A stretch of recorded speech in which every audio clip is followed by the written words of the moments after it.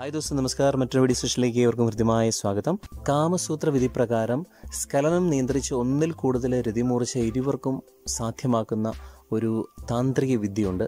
അതിനെക്കുറിച്ചാവട്ടെ ഈ സെഷൻ ഒപ്പം ഈ ചാനൽ സബ്സ്ക്രൈബ് ചെയ്യുകയും ഷെയർ ചെയ്യുകയും ഈ വീഡിയോ മാക്സിമം ആൾക്കാരിലേക്ക് എത്തിക്കാൻ വേണ്ട സഹായ സഹകരണങ്ങൾ ഇവരിൽ നിന്നും ഹൃദയപൂർവം താല്പര്യപ്പെടുകയാണ് ബെൽ ബട്ടൺ എനേബിൾ ചെയ്യുകയാണെങ്കിൽ പുതിയ സെഷനുകളുടെ നോട്ടിഫിക്കേഷൻ നിങ്ങളിലേക്ക് വളരെ വേഗത്തിലെത്താനും സാധിക്കുന്നതാണ്. ലൈംഗിക കേളിയിലെ പുരുഷ വിജയം പൂർണമാകുന്നത് സ്ഖലനം നടന്നതുകൊണ്ട് മാത്രമല്ല മറിച്ച് ഒപ്പം കിടക്കുന്നവളുടെ ഉടലാകെ ആളിപ്പടർന്ന തീ കത്തിയമർന്നതിന്റെ കനൽ ഒട്ടടങ്ങിയതിന്റെ നിശ്വാസത്തിൽ അവൾ പതിയെ തളരുമ്പോഴാണ് ഒരു പുരുഷന്റെ വിജയം ആഘോഷിക്കപ്പെടേണ്ടത്.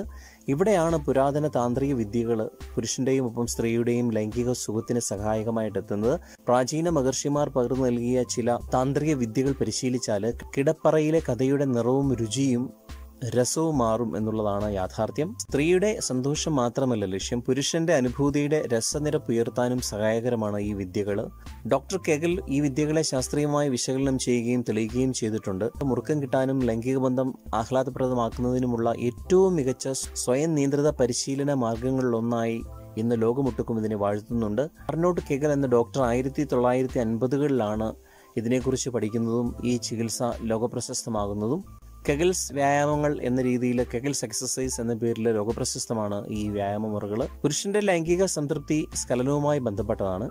ഒരു സ്കലനത്തോടെ അവൻ തളർന്നു പോവുകയാണ് യഥാർത്ഥത്തിൽ ചെയ്യുന്നത്. അതുവരെ സംഭരിച്ച ഊർജം മുഴുവൻ ചോർന്നു പോകുന്നത് പുരുഷന്റെ ദൗർബല്യമല്ല മറിച്ച് അവന്റെ ജൈവികമായ പ്രത്യേകതയാണത്. പ്രകൃതി അങ്ങനെയാണ് ഭൂമിശാസ്ത്രപരമായിട്ട് അവനെ സൃഷ്ടിച്ചിരിക്കുന്നത്. പ്രകൃതി കൽപ്പിച്ച പരിമിതികൾ അതിജീവിക്കാൻ ശ്രമിക്കുക എന്നത് കാലത്തും മനുഷ്യന്റെ അല്ലെങ്കിൽ പുരുഷന്റെ ഹരമാണ്. ഇത്തരണത്തിൽ സ്ഖലനം നിയന്ത്രിച്ച് പ്രകൃതിയെ വെല്ലുവിളിക്കാനുള്ള വഴി താന്ത്രിക ശാസ്ത്രം വിധിപ്രകാരം പറഞ്ഞു വെക്കുന്നുണ്ട്. ആദ്യം നമുക്ക് പുരുഷന്മാരുടെ കാര്യം നോക്കാം. സ്ഖലനത്തെ നിയന്ത്രിക്കുന്ന പേശികളുണ്ട് നമ്മുടെ ശരീരത്തിൽ പ്യുബോക്കോ സൈജിസ് മസിൽ അഥവാ പി സി മസിൽ എന്നാണ് ഇതിനെ പറയുക. യോഗശാസ്ത്രത്തിൽ ഇതിനെ മൂലാധാരം എന്ന് പറയുന്നു. പെൽവിക് മസിൽസ് എന്ന പേരിൽ ഇത് വളരെ പ്രശസ്തമാണ്. നട്ടലിന്റെ അവസാന ഭാഗമായ ടെയിൽ ബോൺ മുതൽ പിബിക് ബോൺ വരെയാണ് ഈ പേശിയുടെ സ്ഥാനം. അതായത് സ്ത്രീയുടെയും പുരുഷന്റെയും നട്ടലിന്റെ അഗ്രത്തിനും ലൈംഗിക അവയവങ്ങൾക്കിടയ്ക്കുള്ള രണ്ട് ഇഞ്ചോളം വരുന്ന സ്ഥലത്താണ് ഈ പേശികൾ സ്ഥിതി ചെയ്യുന്നത്. അപ്പോൾ ഈ പേശിയുടെ സങ്കോച വികാസങ്ങൾ നിയന്ത്രിക്കാൻ കഴിയുന്നവർക്ക് ലൈംഗിക ക്രിയയുടെ ഉന്നതങ്ങളിൽ എത്താമെന്ന് ശാസ്ത്രീയമായി തെളിയിക്കപ്പെട്ടു കഴിഞ്ഞിട്ടുണ്ട്. താന്ത്രിക വിദ്യ ആണെങ്കിൽ കൂടി തന്നെ ചിട്ടയ പരിശീലനത്തിലൂടെ ആർക്കും സ്വായത്തമാക്കാവുന്നതാണ് ഈ വ്യായാമ മുറകൾ പരിശീലനം മാത്രമാണ് ഇതിനെയൊക്കെ പോകുമ്പഴി മൂത്രവിസർജനം നിയന്ത്രിക്കുകയാണ് ഈ പരിശീലനത്തിൽ ആദ്യപടി ഈ മസിൽ ശ്രദ്ധ കേന്ദ്രീകരിച്ച് അവിടെ നടക്കുന്ന സങ്കോച വികാസങ്ങൾ ആദ്യം മനസ്സുകൊണ്ട് ഒപ്പിയെടുക്കണം. സുഖപേശികൾ ഏതാണെന്ന് സ്വയം തിരിച്ചറിഞ്ഞിട്ട് വേണം വ്യായാമം നമുക്ക് തുടങ്ങാൻ. മൂത്രമൊഴിക്കുമ്പോഴാണ് ഈ പേശികളെ കൃത്യമായിട്ട് നിർണയിക്കാൻ കഴിയുക. നിൽക്കുന്നിടത്ത് നിന്ന് അനങ്ങാതെ പേശികൾ ഇറുക്കി മൂത്രം പിടിച്ചു നിർത്തുക. മൂത്രദ്വാരത്തിന് ചുറ്റുമുള്ള ഒരുപാട് പേശികൾ ഇറുകിയാണ് മൂത്രപ്രവാഹം പിടിച്ചു നിർത്തിയത് എന്ന് നമുക്ക് മനസ്സിലാക്കാൻ സാധിക്കും. ഏതാനും തവണ ഇങ്ങനെ ചെയ്യുമ്പോൾ തന്നെ പെൽവിക് സുഖപേശികളെ നമുക്ക് കൃത്യമായിട്ട് മനസ്സിലാക്കാൻ സാധിക്കും. മൂത്രം പെട്ടെന്ന് പിടിച്ചു നിർത്തിയപ്പോൾ ചെയ്തതുപോലെ മറ്റ് സമയങ്ങളിൽ ഈ പേശികളെ ചുരുക്കുകയും വികസിപ്പിക്കുകയും ചെയ്യുന്നതാണ് ഈ താന്ത്രിക വിദ്യ. നിലത്ത് തറയിൽ നിവർന്നു കിടന്നുകൊണ്ട് വളരെ ഈസിയായിട്ട് നമുക്ക് ചെയ്തു നോക്കാൻ പറ്റുകയും പെട്ടെന്ന് തിരിച്ചറിയാൻ പറ്റുന്നതുമാണ് ഈ പേശികൾ.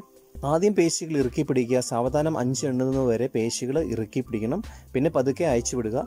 വീണ്ടും ഇറുക്കി പിടിക്കുക. ഇങ്ങനെ അഞ്ച് പത്ത് തവണ വരെ ചെയ്യാം. ക്രമേണ ഇരുപത് തവണ വരെ ഇങ്ങനെ ചെയ്യാനാവും. പിൽവിക് പേശികൾ ക്ഷീണിച്ചതായി തോന്നിയാൽ നാലഞ്ച് മിനിറ്റ് വിശ്രമവും അനിവാര്യമാണ്.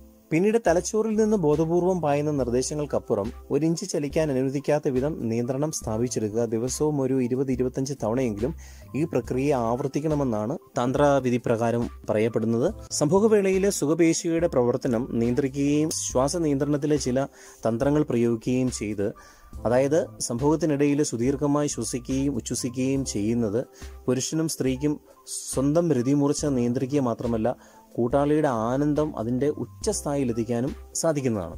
പുരുഷനെ സംബന്ധിച്ച് സ്ത്രീ ഇത് ചെയ്യുമ്പോൾ പുരുഷലിംഗത്തിൽ കൂടുതൽ സമ്മർദ്ദം ലഭിക്കുന്നത് മൂലം അവന് കൂടുതൽ സുഖം അനുഭവപ്പെടുന്നു. അതുപോലെ പുരുഷൻ ഇത്തരത്തിൽ മൂലാധാരം നിയന്ത്രിക്കുമ്പോൾ തന്നെ ലിംഗത്തിലുണ്ടാകുന്ന വൈബ്രേഷൻ മൂലം സ്ത്രീക്ക് കൂടുതൽ സുഖകരമായ അവസ്ഥയിലേക്ക് എത്തപ്പെടാനും കൂടുതൽ രതിമൂർച്ചയും അല്ലെങ്കിൽ കൂടുതൽ സുഖകരമായ അവസ്ഥയിലേക്ക് അവൾ ചെന്നെത്തപ്പെടുകയാണ് ചെയ്യുന്നത്. സ്വന്തം രതിമൂർച്ച നിയന്ത്രിക്കാമെന്നത് ഇതിന്റെ ഏറ്റവും വലിയ ഒരു ഗുണമാണ്. ലൈംഗിക അവയവങ്ങളിൽ നിന്ന് തലച്ചോറിലേക്കുള്ള സംവേദന നാഡികൾ മൂലാധാരം വഴിയാണ് കടന്നു പോകുന്നത് ഇതാണ് ഈ പെൽവിക് പേശികൾക്ക് പ്രാധാന്യം കിട്ടാനായിട്ട് കാരണം. സ്കലനം വൈകിപ്പിച്ച് സംഭോഗവേള ദീർഘിപ്പിക്കാൻ താന്ത്രിക വിദ്യ ഉപയോഗിച്ച് ഇനിയും പലതും നമുക്ക് ചെയ്യാൻ സാധിക്കും. ഉന്മാദത്തിന്റെ പരകോടിയിൽ നിൽക്കുമ്പോൾ സ്വന്തം ശരീരത്തിൽ നിന്നും ഊർന്നു പോകുന്ന ഊർജത്തിന്റെ താളം നിങ്ങൾ അറിയുന്നുണ്ടെങ്കിൽ അതാണ് പൂർണമായ രതി നൽകുന്ന പരമാനന്ദം. അത് ആസ്വദിക്കാനാവുന്ന മാനസിക നിലയിൽ എത്തിക്കുകയാണ് താന്ത്രിക വിദ്യകൾ ചെയ്യുന്നത്. സ്കലന നിയന്ത്രണ സംഭോഗം മുറുകുമ്പോൾ സ്ഖലനത്തിന് മനസ്സും ശരീരവും ദാഹിക്കും. ഈ പ്രേരണയ്ക്ക് എളുപ്പം വഴങ്ങാതിരിക്കാൻ മനസ്സിനെ പ്രാപ്തമാക്കണം. സ്ഖലനം നടക്കാതെ രതിമൂർച്ചയുടെ സുഖമറിയാനായിട്ട് ശരീരത്തെ നമുക്ക് പരിശീലിപ്പിക്കാൻ സാധിക്കും.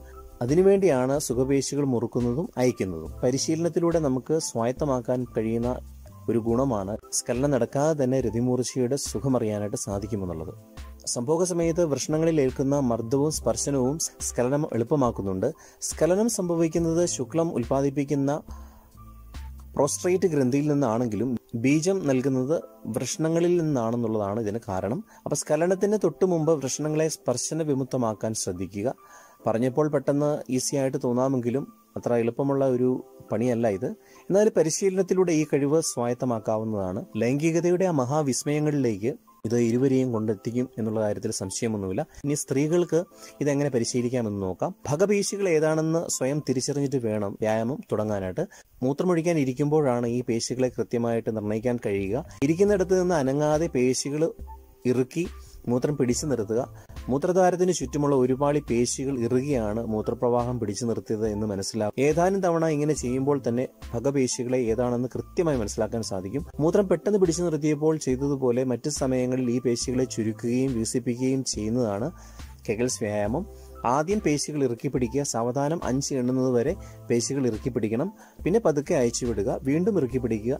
ഇങ്ങനെ അഞ്ച് പത്ത് തവണ വരെ ചെയ്യുക. ക്രമേണ ഇരുപത് തവണ വരെ ഇങ്ങനെ ചെയ്യാനാവും. ഭഗപേശികൾ ക്ഷീണിച്ചതായി തോന്നിയാൽ നാലഞ്ച് മിനിറ്റ് വിശ്രമിക്കണം. സ്ത്രീകൾ സംഭോഗ സമയത്ത് പെൽവിക് മസിലുകൾ ലൂസാക്കുകയും ടൈറ്റാക്കുകയും ചെയ്യുന്നത് പുരുഷന്മാർക്ക് രതിയുടെ അപൂർവ മേഖലകളിലേക്ക് കുതിക്കുവാൻ സഹായകരമായിരിക്കും. ഒപ്പം സ്ത്രീകളെ സംബന്ധിച്ചും വളരെ ആനന്ദദായകമാണ്. താന്ത്രിക വിദ്യ അല്ലെങ്കിൽ ഈ വ്യായാമ മുറ ശരിയായ രീതിയിൽ പരീക്ഷണ നിരീക്ഷണങ്ങളിലൂടെ സ്വായത്തമാക്കിയാൽ രതിയുടെ അപൂർവ മേഖലകൾ സ്ത്രീ ആയാലും പുരുഷനായാലും സന്ദർശിക്കാൻ സാധിക്കുമെന്നുള്ള കാര്യത്തിൽ യാതൊരു സംശയവുമില്ല. അപ്പോൾ ഈ സെഷൻ ഏവർക്കും പ്രയോജനകരമാകുമെന്ന് വിശ്വസിക്കുന്നു. ദയവായി ഈ വീഡിയോ മാക്സിമം ഷെയർ ചെയ്ത് കൂടുതൽ ആൾക്കാരിലേക്ക് എത്തിക്കണമെന്ന് വിനയപൂർവം താല്പര്യപ്പെടുകയാണ്. ഒപ്പം ചാനൽ സബ്സ്ക്രൈബ് ചെയ്യുകയും ഷെയർ ചെയ്യുകയും ചെയ്യണമെന്ന് വിനയപരിസരം താല്പര്യപ്പെടുന്നു. അപ്പോൾ അടുത്ത വീഡിയോ വരെയും ശുക്രിയ. ഫിർമില്ലെങ്കിൽ ബായ്